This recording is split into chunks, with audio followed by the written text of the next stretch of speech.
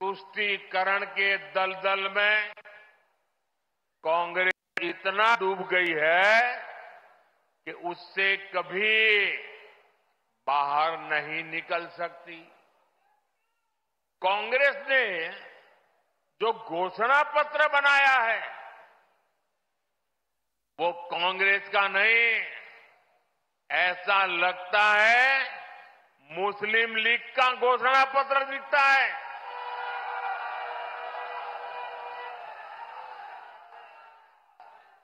तुष्टीकरण के दबाव में ही कांग्रेस हो या सपा सीएए का भी विरोध कर रही है।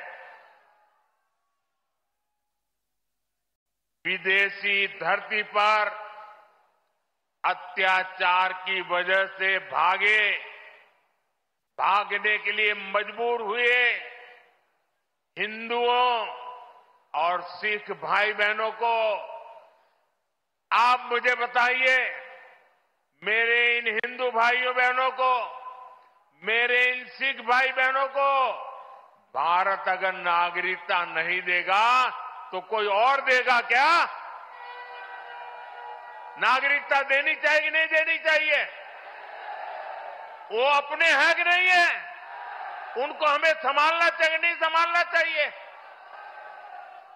सीएए का यहाँ पीलीभीत में रहने वाले अनेक परिवारों को मेरी आपको गारंटी है, आप अप्लाई कीजिए। आपका हमेशा हमेशा की मुसीबतों से मुक्ति मिल जाएगी। आप भारत के नागरिक के नाते गर्व से जी पाएँगे। लेकिन कांग्रेस समाजवादी पार्टी इस पर भी ऐतराज जता रही है। साथियों, यहाँ इस सभा में बड़ी संख्या में हमारे ये शरणार्थी भाई बहन भी है, हमारे सिख भाई बहन भी हैं। समाजवादी पार्टी आज जिस कांग्रेस के साथ खड़ी है उस कांग्रेस ने चौरासी में हमारे सिख भाई बहनों के साथ क्या किया था, वो कोई भूल नहीं सकता। ये भाजपा है जो सिखों के साथ पूरी शक्ति से खड़ी है, उनकी भावनाओं को समझते हुए काम करती है।